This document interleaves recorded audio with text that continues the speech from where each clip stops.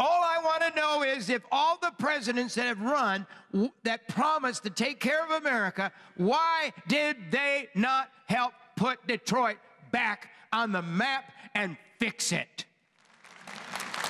Well, I have an answer for you. And I mean, there's one thing I can say, and I'm, I'm, I'm not endorsing anybody yet, uh, but I'll tell you what Trump, and I said we should have done this. Two years ago, we should have given Trump Detroit, Michigan, and said, if you can fix Detroit, we'll elect you president of the United States. He fixed New York. See, you don't even know it. Most people don't know.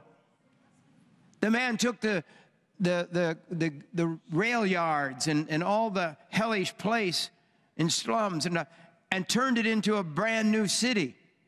He, he built, took buildings and remodeled them and fixed them up. And he literally helped put New York City back together. And, you know, I want a fixer. I want somebody who repairs things.